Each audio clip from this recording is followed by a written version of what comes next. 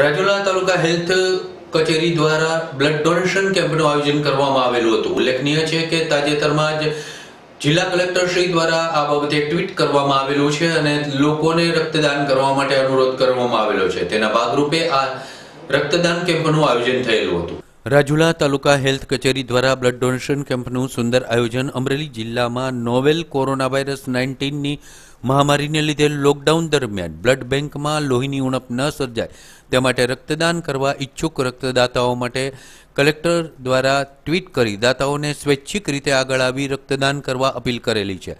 જેના અનુસંધાને મુખ્ય જિલ્લા આરોગ્ય અધિકારી ડોક્ટર એચ એફ પટેલના માર્ગદર્શન અને સૂચનાથી રાજુલામાં સ્કૂલ ઇન્સ્પેક્ટર હિરલબેન ઠાકરે સ્વેચ્છાએ આગળ આવી અને તેમની પ્રેરણાથી તાલુકા હેલ્થ કચેરી રાજુલા દ્વારા બ્લડ ડોનેશન કેમ્પનું આયોજન થયેલું હતું.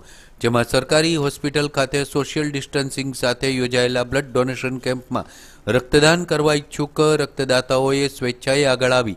સ્વયંભૂ જાગૃતિ દાખવેલી હતી તેમજ તમામને માસ્ક વિતરણ અને હેન્ડ સેનિટાઇઝિંગ કરી કેમ્પને સફળતાપૂર્વક પૂર્ણ કરેલો હતો આ camp taluka health officer doctor N V Kalsariya લેપ્ટેક Kishorbhai Makwana supervisor Jigneshbhai Kakadiya અને આરોગ્ય કર્મચારીઓની મહેનત તેમજ ઇન્ડિયન રેડ ક્રોસ સોસાયટી અમરેલીના સહયોગથી બ્લડ ડોનેશન કેમ્પ સુંદર રીતે આયોજિત થયેલો હતો આ એકત્રિત થયેલ બ્લડ ઇમરજન્સી દરમિયાન જરૂરિયાતવાળા કોઈપણ વ્યક્તિને આપી શકાય અને તેનું જીવન બચાવવા જેવી ઉમદા કામગીરી કરી શકાય, જે બાબતે માર્ગદર્શન પૂરું પાડવામાં આવેલું હતું.